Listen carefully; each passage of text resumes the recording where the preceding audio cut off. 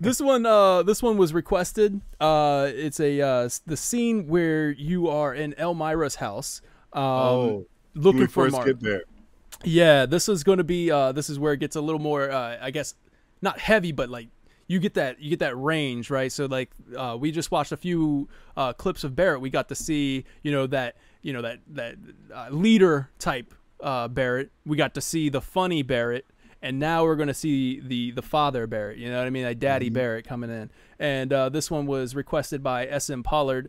Um, says my absolute favorite scene from Barret has to be the scene with Marlene in Elmyra's house. So here we go. Where's Thank Pollard. Marlene? Is she here? Barret.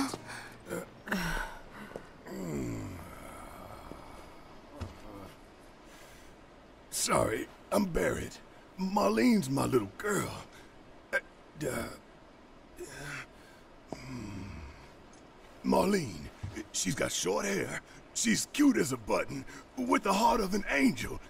She was wearing, uh, uh, pink. She was wearing a She's pink dress sleeping today. upstairs. Oh, I said she's sleeping.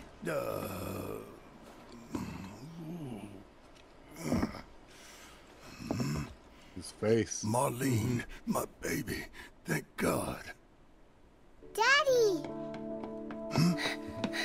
Marlene.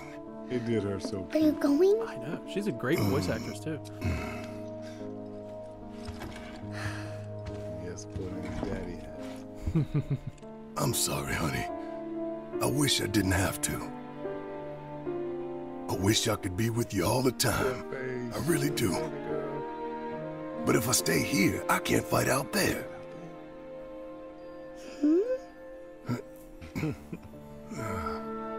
Some bad people are trying to hurt the planet. And Daddy, Daddy and his friends are trying to stop those bad people. The slums, your friends, the whole planet. It's Daddy's job to protect it. Hmm?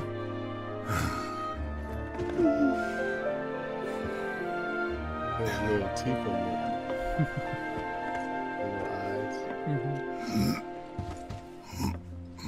And that's why I've got to go. You remember that nice girl who came to find you? Well, now we have to go find her.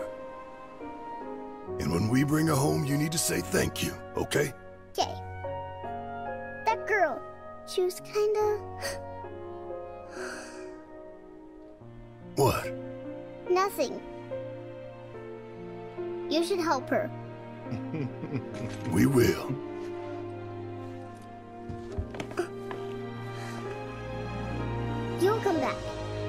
Right?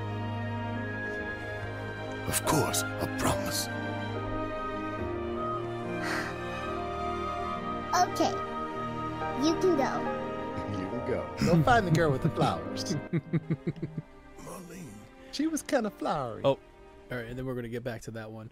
But uh, but yeah, that w- that that scene in particular for me as well, and uh, I'm seeing a few people in chat as well thinking this this this scene is is just one of the one of those the top moments in Final Fantasy VII remake, just because like like I said, man, you get that whole range of character from Barret, um, and like I think this is like the true Barret. We get to see the true side of Barret. Anytime Marlene. So my my choice was. There's several things. I, I think we talked about it before. I didn't want Barret to be looked at as this big black brute. I didn't want him to be stereotyped. I didn't want him to be a caricature. I didn't want him to be, you know, looked at as, you know, in a in a negative way as as many people look at, you know, my culture, my race. Uh, it's not many, not a lot. Well, some people, um, and I just didn't want that. I didn't want to portray that, and I wanted to show his layers. You Yeah. know, I wanted to show that he, he he's he's a man. He's a got many hats. He's a father. He's a leader. He's a confidant. He's a friend. He's so many different things, and I just think that's lacking in so many different characters. So, thank God for an engine like this to uh, allow me to be able to show these different ranges. You know, because I remember we got so much criticism from the trailers when when we were just mm-hmm. advertising the game coming out. Oh, he's he's he, they played a white guy, got a white guy to a black guy's voice, and he sounds like the guy from Tropic Thunder, and da da da. I'm like, oh, what are you talking about? And it was with mm-hmm. no one knowing and people making guesses and coming up with their own assumptions. I'm not saying mm. anybody's name. And you couldn't- know him.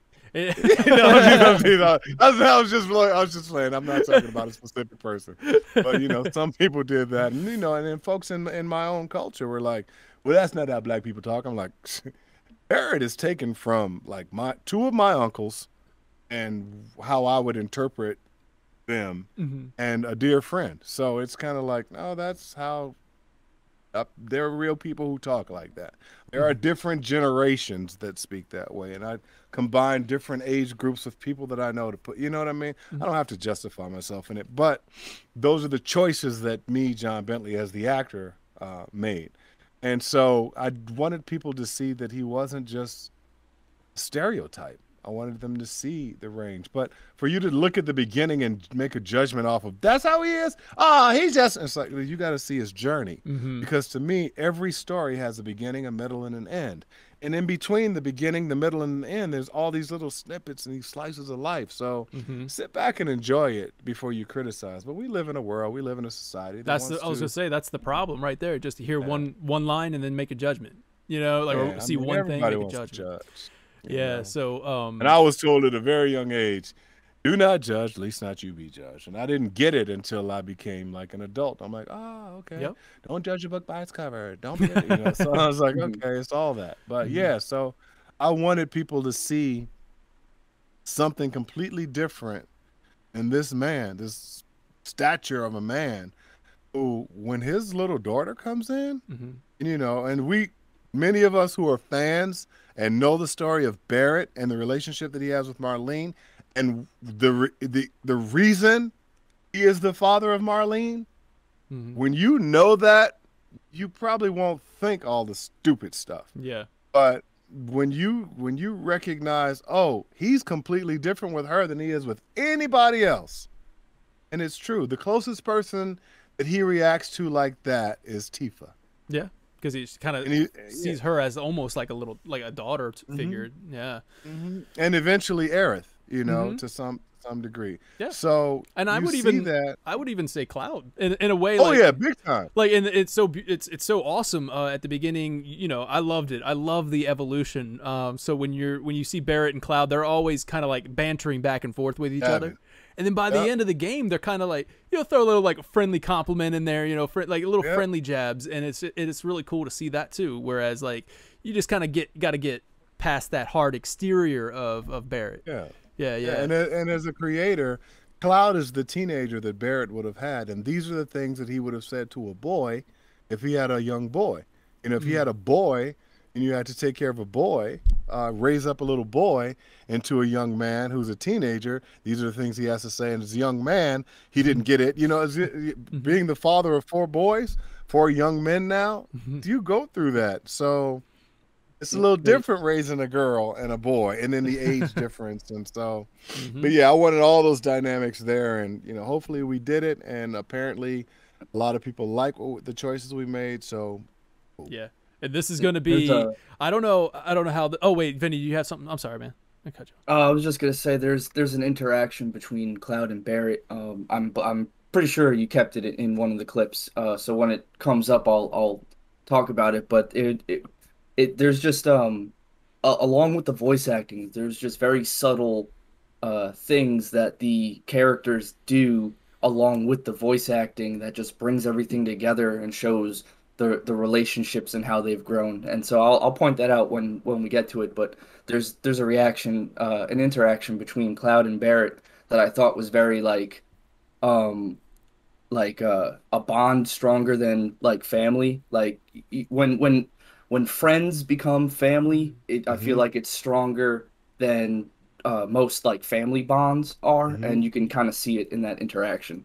Yeah, because So- when you go through something like the end of the Mm-hmm. world or the destruction of your planet, or when you go through something, there's a, a fellowship and a kinship that's made that's unlike any other. That's why teams are so important. Mm-hmm. And a segue into teams, it's like the Final Fantasy crew, the the the remake crew, the team, both overseas and here in the United States, and they put it down, dude. Mm. They they put it together for all those people, those animators, those creators, those writers, those directors, everybody to put it together and create something like this, that's stunningly this beautiful. They can tell a tale with words or without.